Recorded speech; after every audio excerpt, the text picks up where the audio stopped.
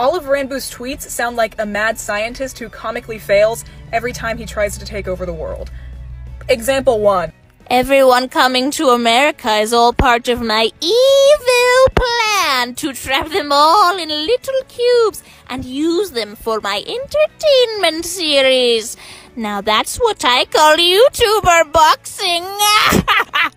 No, no, don't! Your cube is waiting. Should I be worried? No, not at all. By the way, do not resist if I try to put you in a glass box. It's just a bit. Tubbo on a plane. What will he do? Stress the frick out! Uh, don't worry if it goes down. It's like a free roller coaster ride for like 30 seconds. But that won't happen, of course.